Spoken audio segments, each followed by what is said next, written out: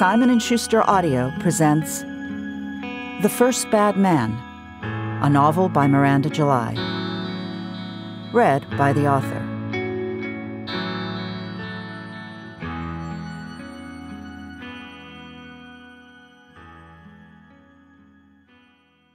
Chapter 1 I drove to the doctor's office as if I was starring in a movie Philip was watching. Windows down, hair blowing, just one hand on the wheel. When I stopped at red lights, I kept my eyes mysteriously forward. Who is she? People might have been wondering. Who is that middle aged woman in the blue Honda? I strolled through the parking garage and into the elevator, pressing 12 with a casual, fun loving finger. The kind of finger that was up for anything.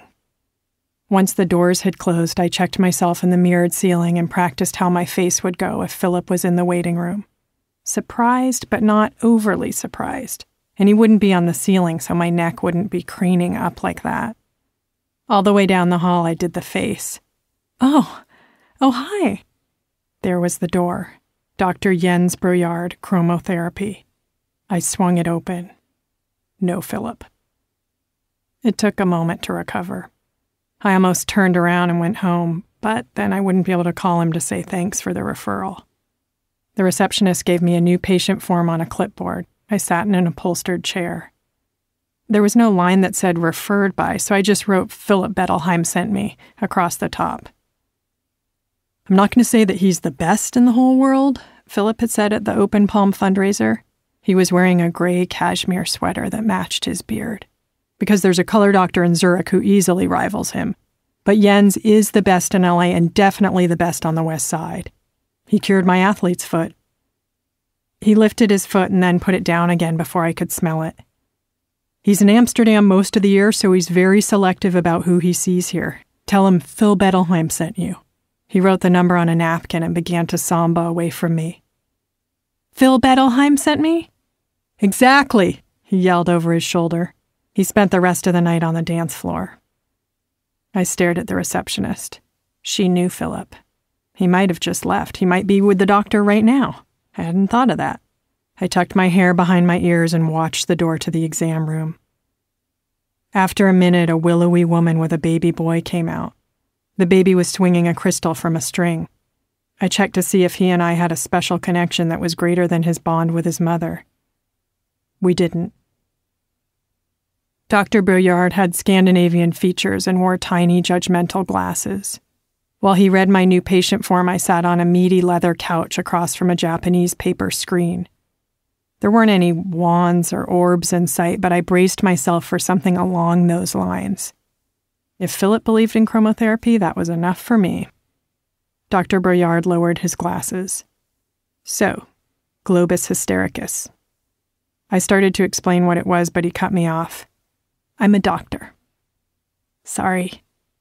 But do real doctors say I'm a doctor?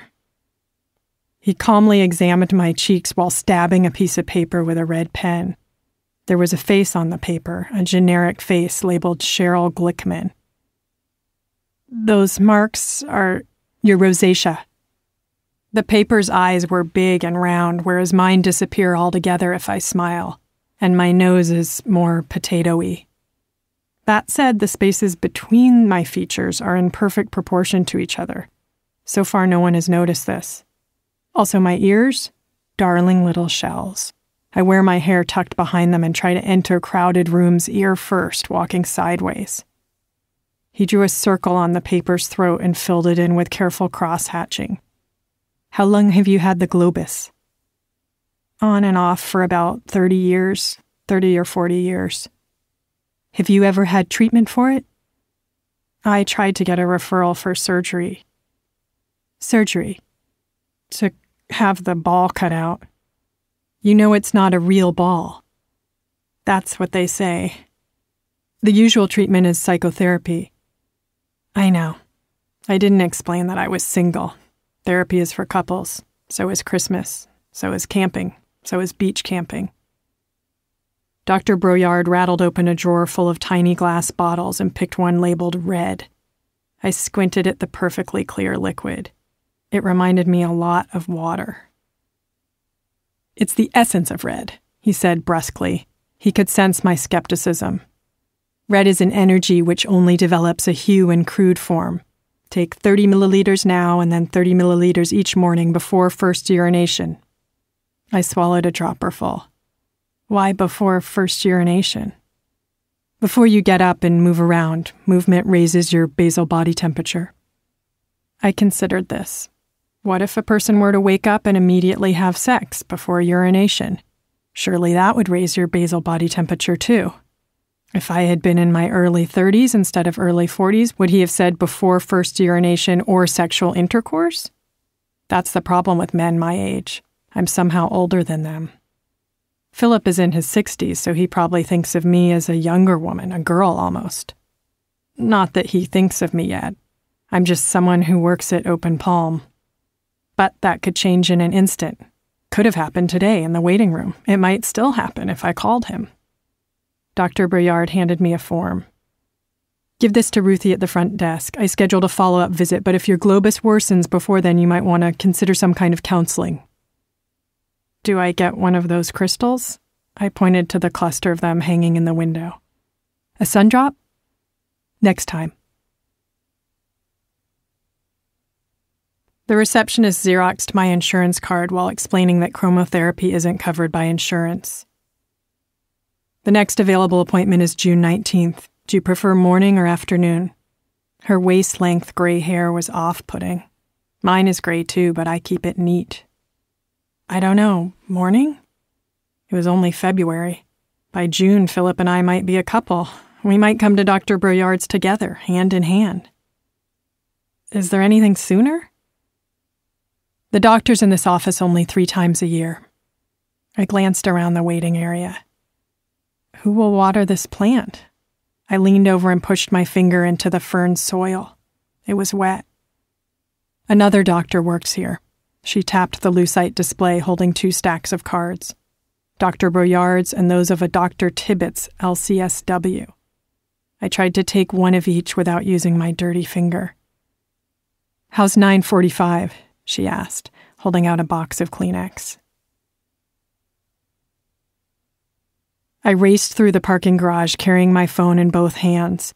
Once the doors were locked and the AC was on, I dialed the first nine digits of Philip's number, then paused.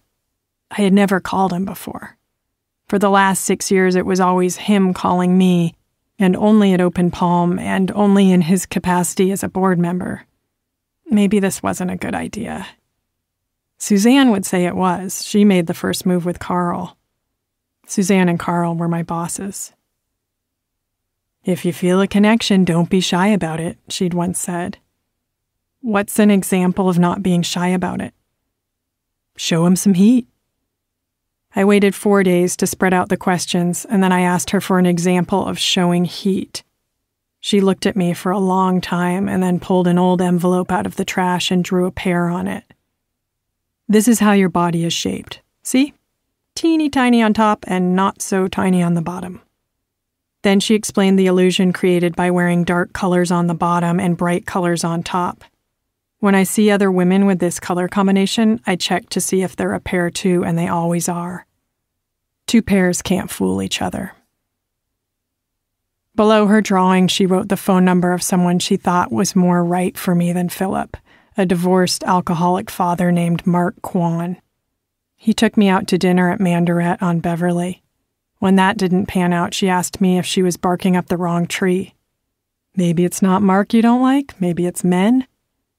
People sometimes think this because of the way I wear my hair. It happens to be short. I also wear shoes you can actually walk in, Rockports or clean sneakers instead of high heeled foot jewelry. But would a homosexual woman's heart leap at the sight of a 65 year old man in a gray sweater? Mark Kwan remarried a few years ago. Suzanne made a point of telling me. I pressed the last digit of Philip's number. Hello? He sounded asleep. Hi, it's Cheryl. Oh, from Open Palm. Oh, hello, hello. We hope you enjoyed this preview. To continue listening to this audiobook on Google Play Books, use the link in the video description.